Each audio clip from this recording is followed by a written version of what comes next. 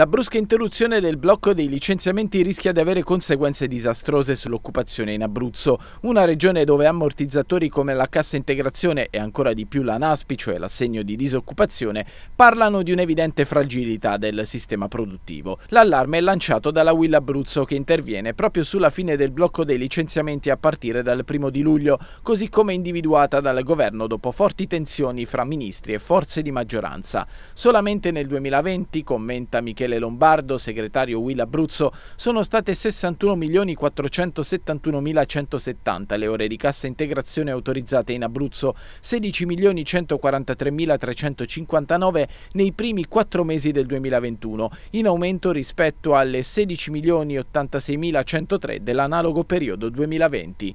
Cifre impressionanti che indicano quanto ancora massiccio sia il ricorso agli ammortizzatori sociali causa Covid. Ancora più impressionante il dato dato relativo alla NASP in Abruzzo. Nel 2020 sono state 46.937 le ore liquidate, numero inferiore sicuramente al 2019, con i 51.135, ma pur sempre erogate in una fase in cui il blocco dei licenziamenti è attivo.